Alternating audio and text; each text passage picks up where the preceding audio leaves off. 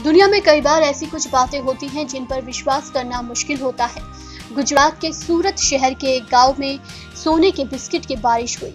इस बात पर सहसा कोई भी यकीन नहीं कर पाएगा। लेकिन सूरत हवाई अड्डे के पास डुमस गाँव में गुरुवार रात को सोने के सामान की चीज़ें आसमान से गिरी और लोग उसे बीनने के लिए घरों से निकल पड़े।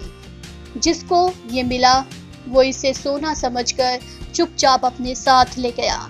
गाँव वाले टॉर्च लेकर रात भर सिक्के ढूंढते रहे।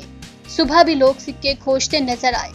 सोना मिलने की बात गाँव में आग की तरह फैली थी। स्थानीय लोग बताते हैं कि रात के वक्त कुछ लोग यहाँ से पैदल गुजर रहे थे, तभी उन्हें ये चमकने वाली चीज़ मिली। जैसे ही लोगों को भनक लगी, सब उन्हें लूटने दौड़ पड़े।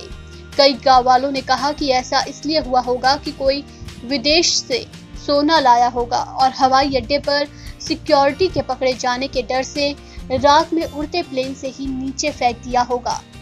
तभी ये जानकारी मिली कि ये पीतल के सिक्के हैं। पुलिस के मुताबिक एक युवक गुरुवार की रात खाना खाकर घूमने निकला था। उसे रास्ते पर एक पीली धातु का सिक्का पड़ा मिला। इसके बाद उसने और सिक्के तलाशने शुरू किए, जिससे अफवाह फैलती गई। डूमस के police inspector R N Patel ने बताया कि सुबह सिक्का जाँच के लिए लाया गया था। जाँच करने के बाद पता चला, ये सोने के नहीं, पीतल के सिक्के हैं।